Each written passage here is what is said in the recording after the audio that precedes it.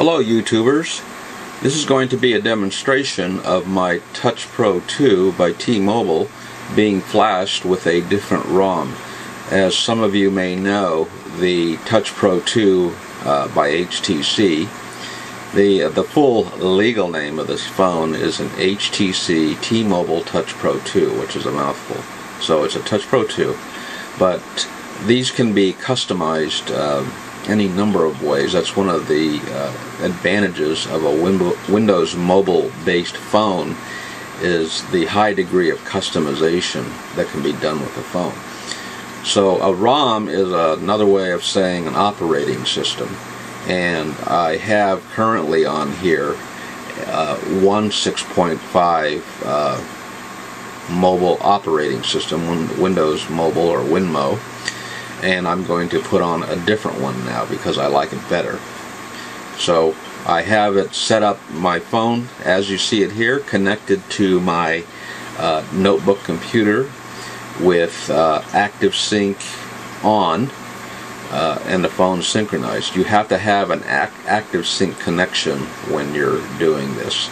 Uh, you can't do it basically for example through the phone. You have to uh, have your, your USB cable connected to the notebook computer or the desktop and then you install it through the notebook computer.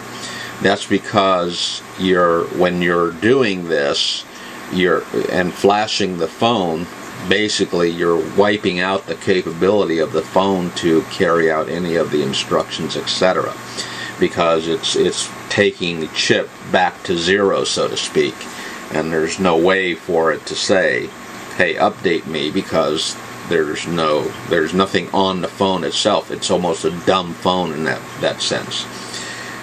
But your computer your notebook or desktop is the one that's carrying out all the functions and instructions on that are needed for the updating process. So that's why it's connected and that's why there's as active sync uh, Microsoft active sync is is on there and I won't show you the screen because I've got this set up right now to do the update. Uh, this is going to take longer than the one uh, video, so uh, watch the um, uh, part two of this.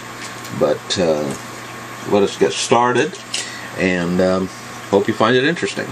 Okay, I've got my program up on the screen, and it says uh, PDA Phone Update Utility 3.27.4.3 and then it tells you uh, there's a picture of the Touch Pro 2 on the left hand side. It, it says XDA developers HTC Rhodium custom RUU and then it has the uh, website uh, for the uh, where I got this ROM which is xda-developers.com Again, that's xda-developers.com. But the best place to get these ROMs, all these, they call them cooked ROMs, or uh, you call them hacked, whatever you want. Uh, the best place to get them, I think, is on a, a site called thewingster.com. Thewingster, W-I-N-G-S-T-E-R.com, because they have explanations of all the um, the ROMs, etc. And also available for download. So, okay, let's get started. And make sure you tune into part two of this process because I'm going to show you in real time how this is all done.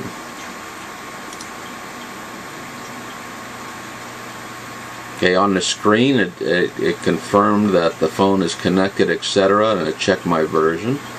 And it says current information, image version, and then it says select from below to update the current ROM version and then it has a cancel in case you get you know you're the chicken that you are that you don't want to do this so you can press the cancel button but I will click update and then it asks you again verify what you want to do and it says from image version blah blah and then it says to image version Energy ROM HD. That's the one I'm putting on here.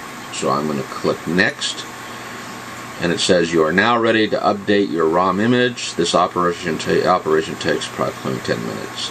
And I'm now clicking next and it's in big red letters it says please do not remove the USB connection remember the operation takes about 10 minutes that's obviously for the impatient people that think something's wrong if the update process is going a little too slow for their uh, their needs and expectations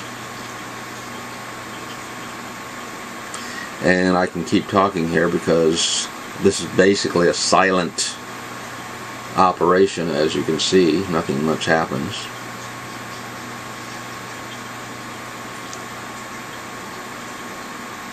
Let's see if we've got any sound effects around here handy. Nothing nothing. They usually have all kinds of stuff around here that can provide entertainment. Update entertainment let's see nope everything's in the closet put away. So, no entertainment for you.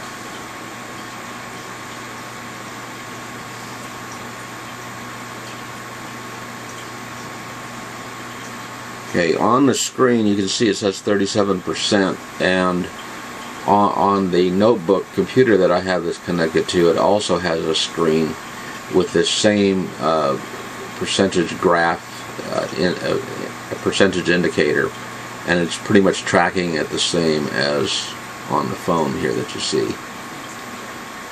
On my notebook it says updating the ROM image on your PDA phone and then it has the percentage uh, here that's increasing as it goes along.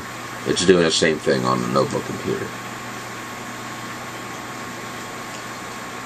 And then the warning like I said it says please do not remove the USB connection from the PDA phone or launch any program during the up update process. And what they're talking about there is on your notebook computer or your desktop. Don't be multitasking because you're going to screw up your phone. That's how a phone gets bricked. If you want to see some entertaining videos uh, and make that make you feel bad look type in the name of your phone and type in the word bricked B R I C K E D and people will show you their bricked phones. A sad sad videos. Okay it's saying 100% and I'll start going through a number of screens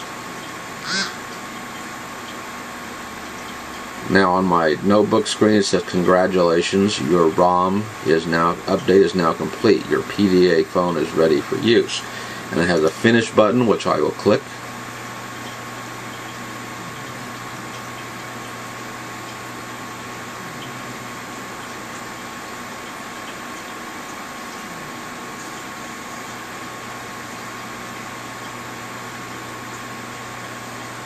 I believe next it recognizes that I have some contacts on my SIM card and it'll ask me if I want to put those on my card.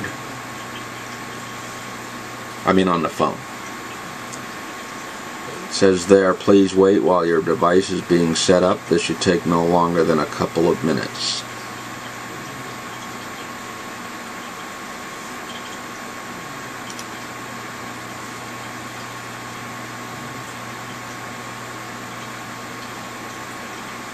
And we're at uh, eight about nine minutes uh, and my my camera is set up to cut out the video after about 10 minutes so that I don't go over. So when it, does this I will uh, start it again so you can see part two. And I'll just uh, rather than being cut off talking at the end I'll just shut up right now